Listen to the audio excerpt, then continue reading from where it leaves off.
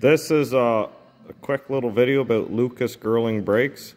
Uh, I know there's not a lot of information on our internet, so I hope this helps someone in the future. Uh, it's not going to go super in depth, but it'll give you a rough idea what you're going to get into for a nightmare when you get into them. I shouldn't call it a nightmare, just I was going into a blind, so I didn't know what I was doing. So on the Lucas Girling brakes, you got a frontward wheel cylinder and a rearward wheel cylinder. There's two wheel cylinders inside this drum.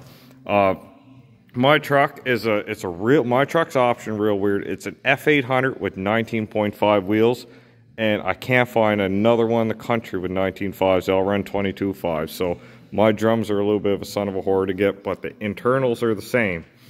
Other than uh, my outer hub is a different lug pattern. It's an eight lug pattern. Um, so anyways, your front brakes, uh, like I said, your front wheel cylinder, that's a service cylinder. Your rear cylinder is a park and brake assembly and your service cylinder. So what you got is you got your main line. It's a 5 16 uh, hydraulic line. It goes into your front cylinder. Well, then you have this line here that loops around from your service cylinder to your park and brake and service cylinder. It's kind of both. So when you come down to the back side here, I already got the maxi pot off. You, you, there's a bolt on the back of the maxi pot and you cage the maxi pot. It's already made in the cage and bolt. So you cage it just like you cage a air brake pot.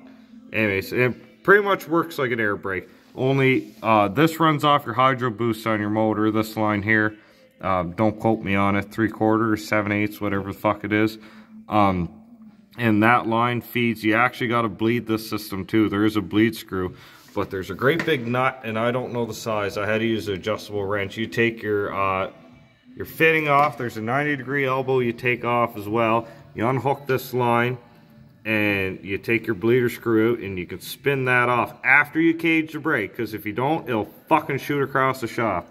So anyways once you get that off there's just three bolts uh 21 or 22 millimeters what I use. I believe I use a 21 the backside on a wrench and a 22 out here.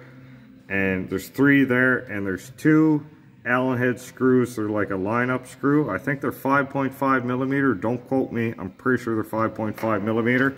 Same as on the frontward one. And like this is my frontward wheel cylinder. So it goes on as shown. So like I said, you have your three bolts. You flip it to the back side. You can see uh, this is the lower hole is where your uh, inlet is, and this is an outlet to go to the rearward wheel cylinder.